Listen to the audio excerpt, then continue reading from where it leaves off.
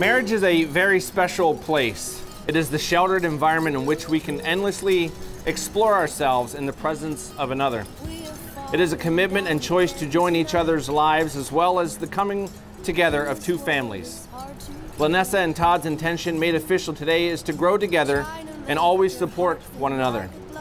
We hope that as they move into the adventure of marriage, that they always hold one another in the light of all light and the love of all love. Everybody, everybody wants to love. Everybody, everybody wants to be loved. Oh, oh, oh, oh, oh, oh. Everybody, everybody wants to love. Todd, I'm so overjoyed that I have found the love of my, of my life, and today we are officially husband and wife, together for life. I know God answered my prayer sending you to me. I could never imagine my life without you. I can't wait to be your missus. I'm so proud to be your wife. I love you forever and always.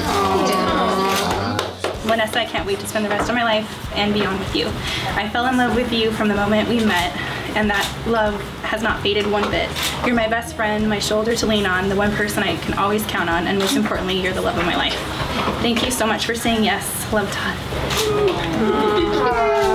Everybody, everybody wants to love. Everybody, everybody wants to be loved. Oh, oh, oh, oh. Everybody, everybody wants to love. Everybody, everybody wants to be loved.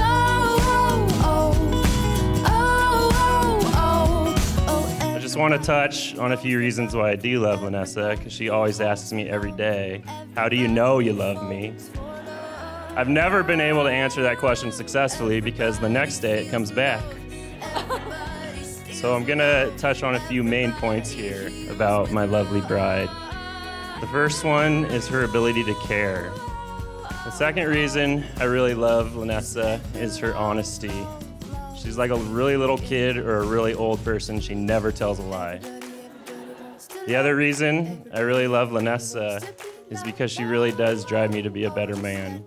I also just want to say that I know she's going to ask the same question tomorrow How do you know you love me?